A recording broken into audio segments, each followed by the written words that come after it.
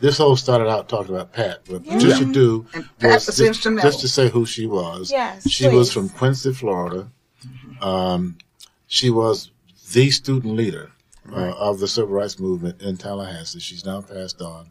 She married John Due, Okay, that's not. how, I was going to ask that question. who was uh, joined her uh, also as a leader of the movement. They eventually moved to Miami and lived here for many, many years, mm-hmm. and then moved back to Quincy, where she passed